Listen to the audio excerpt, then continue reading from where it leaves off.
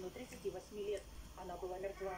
В 11 часов дня извлекли тело еще одного члена этой семьи, самого маленького, полуторагодовалого ребенка. И в 13 часов местного времени нашли главу семьи, 45-летнего мужчину. Он тоже не выжил. Подростка только спасли.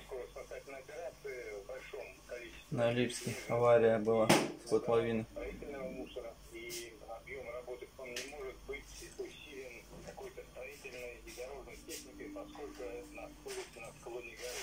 Отметим, что дорики стояли непосредственно под склоном горы,